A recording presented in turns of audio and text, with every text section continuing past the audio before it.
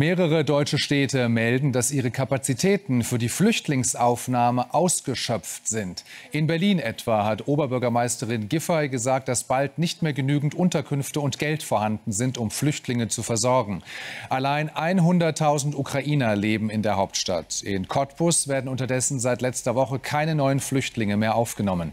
Die Schulen und die Gesundheitsversorgung seien dort an der maximalen Kapazitätsgrenze angelangt, heißt es.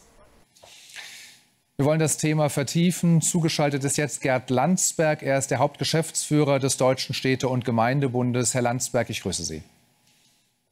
Hallo, Herr Simon, ich grüße Sie auch.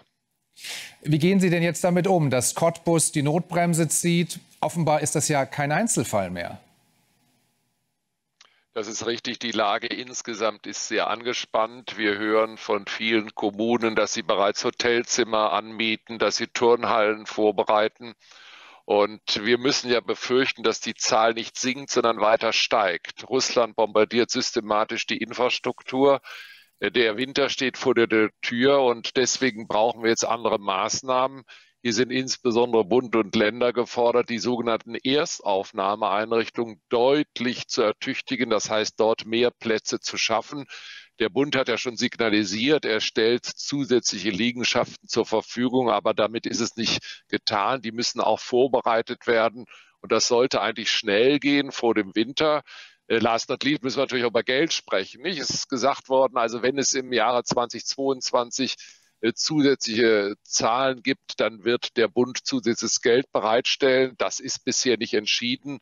Und was der Bund und auch die Länder 2023 den Kommunen erstatten, ist ebenfalls unklar. Wir stellen jetzt unsere Haushalte auf und es ist eine gesamtgesellschaftliche Aufgabe und die müssen wir gemeinsam stemmen. Deswegen hoffe ich, dass jetzt weniger geredet, sondern endlich konkrete Maßnahmen kommen. Sie haben das gerade eben ja schon angedeutet. Also Russland bombardiert ja in der Ukraine eben auch die kritische Infrastruktur. Es ist durchaus möglich, dass dann, wenn es kalt wird, wenn es keinen Strom, keine Heizung mehr gibt, sich wieder tausende Menschen auf den Weg Richtung Westen machen, auch nach Deutschland. Ich würde da jetzt gerne noch mal einhaken wollen. Wie kritisch ist denn da jetzt die Lage für Städte und Gemeinden? Geht es da nur um das Geld oder hat man überhaupt genügend Unterkünfte, Betten und dergleichen mehr? Denn in Zelten kann man die Menschen dann ja nicht unterbringen im Winter. Das ist richtig, aber es gibt Regionen, da gibt es keine Unterkunftsmöglichkeiten mehr. Selbst Hotelzimmer sind da schon knapp. Im Übrigen sind die sehr teuer. Äh, deswegen müssen wir jetzt vor dem Winter, so leid mir das tut, zusätzliche Sammelunterkünfte schaffen. Das ist eine Aufgabe der Länder. Die haben das zwar in Aussicht gestellt, aber wir müssen mit viel höheren Zahlen re rechnen. Also ich rede jetzt nicht um ein paar hundert Plätze. Wir müssen Tausende von Plätzen in den Erstaufnahmeeinrichtungen schaffen. Wir müssen auch improvisieren. Äh, das ist ja nicht nur eine Frage der Unterbringung und Versorgung, es geht auch um Kita und Schulplätze. Und da müssen die Länder bereit sein, gewisse Standards, die nicht unverzichtbar sind, aufzuheben, dass man sagt, also da kann auch noch mal ein Kind mehr in die Gruppe oder wir schaffen Hilfskräfte. Äh, auch die Möglichkeit, gerade bei den aus der Ukraine Vertriebenen, Arbeitskräfte zu gewinnen. Da sind Lehrer bei, da sind Erzieherinnen bei, äh, dass wir die schnell auch in diese Aufgabe äh, einführen können. Da müssen wir uns einfach mehr anstrengen. Es ist halt Krieg, es ist eine furchtbare Situation, aber wir müssen das schaffen. Sie sagen, es ist Aufgabe der Länder, aber die werden wahrscheinlich dann auch sagen, wir haben auch nur begrenzte Möglichkeiten. Müsste die Bundesregierung da vielleicht noch mal äh, unterstützend eingreifen? Also Bund und Länder müssen sich darauf verständigen. Äh, der Bund hat noch Liegenschaften, das habe ich ja schon gesagt. Die muss er aber auch dann in den Zustand bringen, dass man dort sofort Leute unterbringen kann.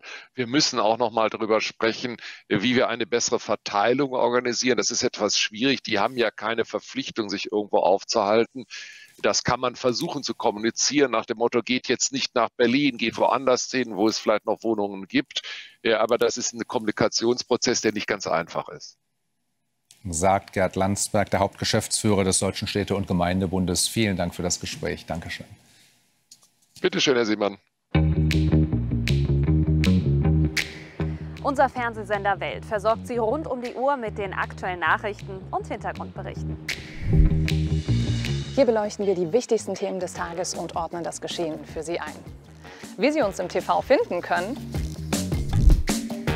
Ganz einfach indem Sie den Sendersuchlauf an Ihrem Fernseher starten. Eine Anleitung finden Sie hier oben verlinkt. Zusammen mit einer Erklärung, wie Sie uns dann über Kabel, Satellit, Streaming, IPTV empfangen können. Hallo und ganz herzlich willkommen hier bei Welt. Wenn ihr mehr News aus unserem Team wollt, dann müsst ihr einmal hier klicken. Wenn ihr auf der Suche seid nach spannenden Dokus, starken Reportagen, dann geht's hier entlang. Und wenn ihr Welt abonnieren wollt, neu entdecken wollt, dann einmal hier klicken.